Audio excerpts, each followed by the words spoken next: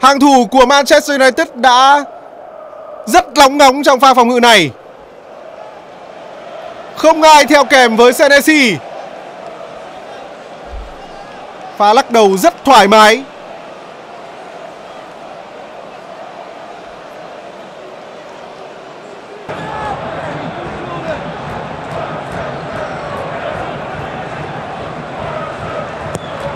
Góc thứ tư của Bournemouth và họ đã có được bàn thắng vào lưới của Crystal Palace. Bàn thắng đầu tiên đến từ một cú đánh đầu dành cho Bournemouth ở trong mùa giải năm nay.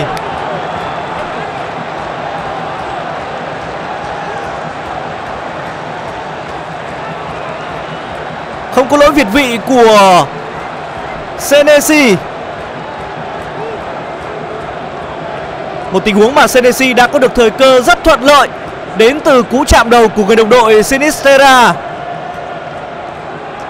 Rất dễ dàng cho cầu thủ người Argentina để anh ghi được bàn thắng mở tỷ số cho Bournemouth trong trận đấu ngày hôm nay.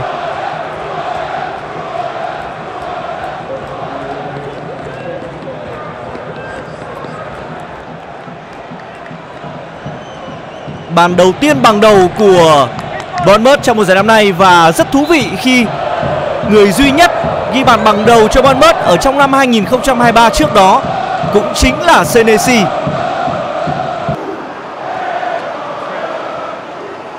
Vẫn là đội chủ nhà. Và xâm nhập của Reguilon. Người đã chạm bóng cuối cùng là Senesi. Bây giờ sẽ là quả phạt góc.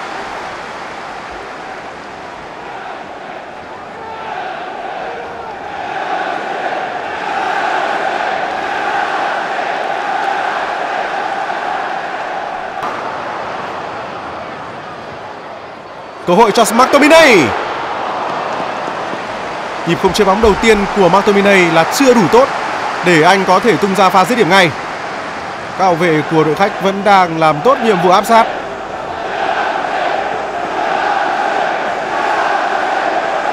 Trong những phút đầu tiên này, Scott McTominay đang được ưu tiên chơi khá cao. Lại là một pha mất bóng ở giữa sân của đội chủ nhà. Phản công dành cho Bournemouth. Tavernier. Kirkes đang mang lên. Tavernier chân phải. Chân phải không phải là chân thuận của cầu thủ ma số 16. Bên này. Bruno.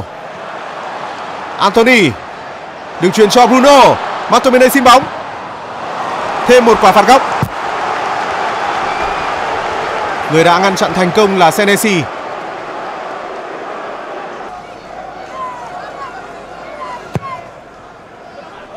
Cánh đầu rất bất ngờ! 3-0 cho Bournemouth Và đánh đầu trong tư thế rất thoải mái.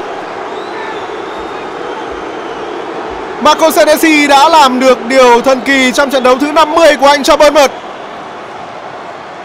Bàn thắng thứ ba vào lưới của Manchester United. Andre Onana đã bất lực nhìn bóng bay vào lưới.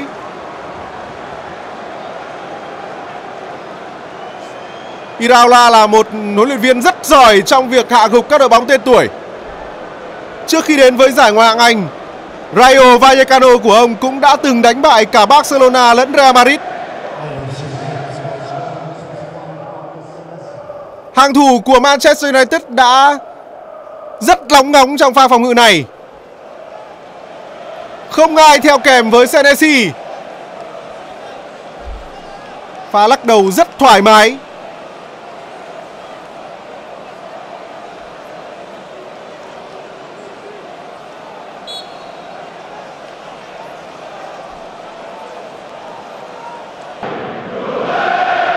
Chúng ta nghe được những tiếng hát rất lớn đến từ khán đài của City Ground. Tavernier, Bóng sút thẳng vào đầu của Toffolo. Trận đấu vẫn đang tiếp tục. Dango. Thêm một quả tạt nữa. Thêm cú đánh đầu Và tỷ số của mình một đều. Dominic Solanke. 40 phút của hiệp 1 chúng ta không có bất cứ bàn thắng nào cả nhưng chỉ 5 phút đầu tiên của hiệp 2 thôi đã có hai bàn thắng được ghi, chia đều cho cả hai đội.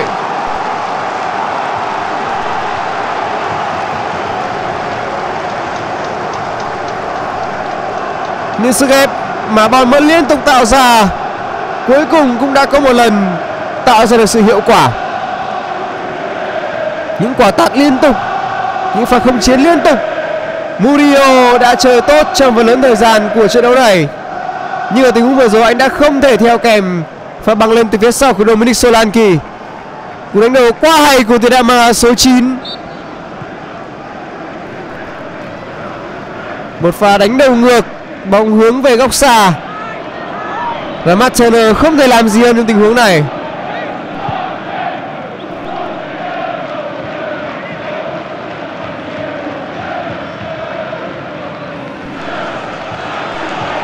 Và bây giờ lại là những pha lên bóng của các cầu thủ bên phía Bournemouth.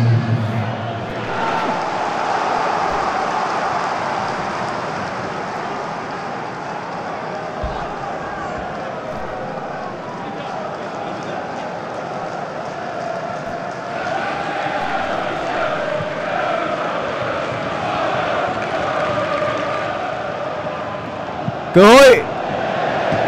Nhưng chuyền vào không thành công. Đến từ Dango.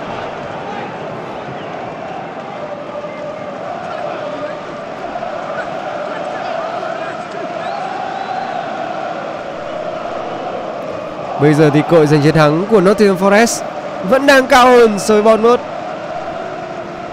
43% là cội đôi bên sẽ chia điểm trong trận đấu này. Richarlison đã mất tới hai nhịp khi mà Richarlison tưởng người đồng đội của mình cũng băng xuống.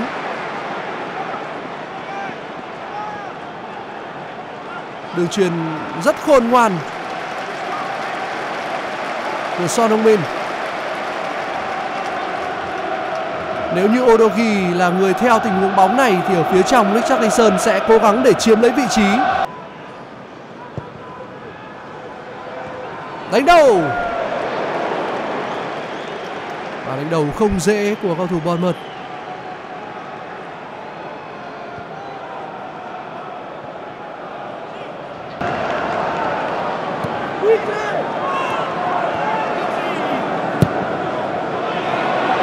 Đánh đầu pha bật nhảy là của Solanke